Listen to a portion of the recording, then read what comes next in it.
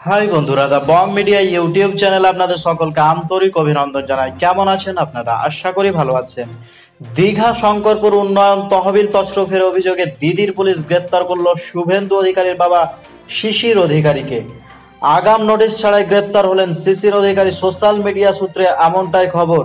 আজকে আমাদের এ নিয়ে থাকবে বিস্তারিত আলোচনা, তবে মূল ভিডিওতে প্রবেশ করার পূর্বে আপনাদের নিকটে একটি ছোট্ট রিকোয়েস্ট যদি আমাদের চ্যানেলটিকে এখনও পর্যন্ত সাবস্ক্রাইব করে না থাকেন, তবে অবশ্যই সাবস্ক্রাইব করুন এবং পাশে থাকা বেল আইকনটিকে প্রেস করুন। এক সময় তিনিই ছিলেন দীঘা শঙ্করপুর উন্নয়ন পর্ষদের চেয়ারম্যান। বিধানসভা নির্বাচনের আগে তিনি উপস্থিত ছিলেন বিজেপির এক জনসভায়। তারপরে কেড়ে নেওয়া হয় চেয়ার। যশের প্রভাবে তছনছ হয়েছে দীঘা।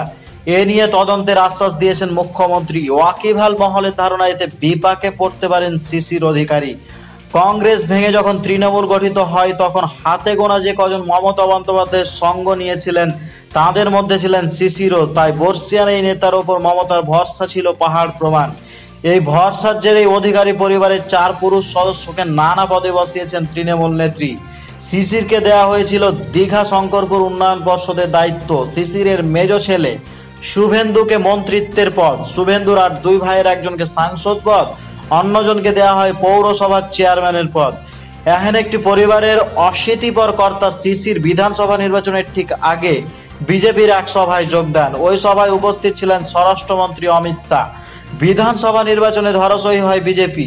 ক্ষমতায় আসে তৃণমূল। বুধবার ওড়িশার বালেশ্বরে আছড়ে পড়ে ঘূর্ণিঝড় ইয়াস। ইয়াসের প্রভাবে এই রাজ্য ব্যাপক ক্ষয়ক্ষতি হয়েছে। ভেঙে গিয়েছে একাধিক বাঁধ। তছনছ হয়েছে মুখ্যমন্ত্রীর সাধের দীঘা। এতেই দৃশ্যত ক্ষুব্ধ মুখ্যমন্ত্রী বলেন শেষ দপ্তর দীঘায় যেটা করেছিল তার পুরোটাই ভেঙে গিয়েছে। দু আড়াই বছর হয়েছে, কি করে ভাঙলো? জলোচ্ছ্বাসে তছনছ হয়ে গিয়েছে দীঘার মেরিন ড্রাইভ। শ্রীহীন হয়েছে সৈকত সুন্দরী। এসব নিয়ে তদন্তের আশ্বাস দিয়েছেন মমতা। এতে অশীতিপর শিশিরকে বিপাকে পড়তে হতে পারে বলে ওয়াকিভাল মহলের ধারণা।